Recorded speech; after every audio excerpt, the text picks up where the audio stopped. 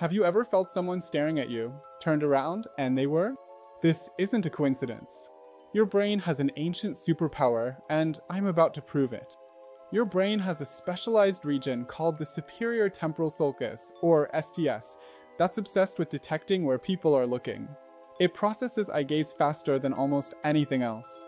In just 100 milliseconds, your brain knows if someone's eyes are on you. That's faster than you can blink. But why do we have this ability? Evolution. For millions of years, being watched meant one thing danger.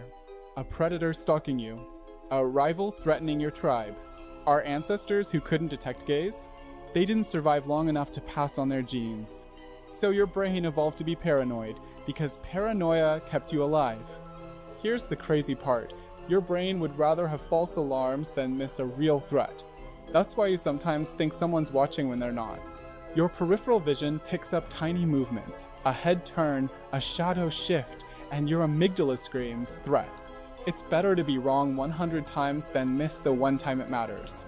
And here's what really blows my mind gaze detection is so powerful that it works even when you're not consciously aware.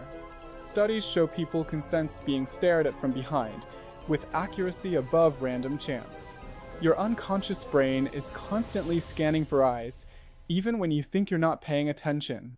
So, next time you feel those eyes on you, trust it. Your ancient brain is doing exactly what it was designed to do. Now, I want to know has this ever happened to you? Drop a comment. And if this blew your mind, share it with someone who needs to see this. Follow for more brain science that'll change how you see the world.